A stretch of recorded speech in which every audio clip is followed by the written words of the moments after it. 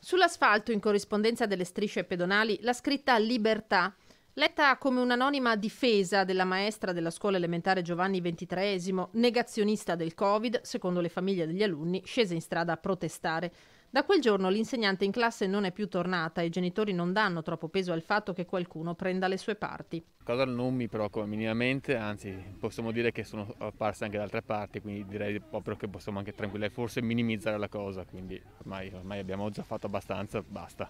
Ma l'iter per approfondire ed eventualmente sanzionare la condotta della maestra va avanti, come conferma il prefetto Laganà, che ha ricevuto dalla scuola una ricostruzione scritta dell'accaduto. È arrivata la relazione diciamo, del, del, proprio ieri, devo dire l'ho letta e mm, sì, insomma, vista tante cose che sono sul tavolo, questa era meno eh, urgente. Vabbè, la, il preside mi ha mi ha da un lato detto che la signora è in malattia fino ad oggi, quindi poi sono le ferie, quindi che hanno avviato degli approfondimenti e anche eventualmente scatteranno dei provvedimenti disciplinari, questo mi pare di aver capito. Mm, fin dall'inizio devo dire che questa signora è stata assunta credo a novembre, eh, si sono palesate queste sue difficoltà insomma, da rispettare le disposizioni, anche con la presentazione di certificati medici.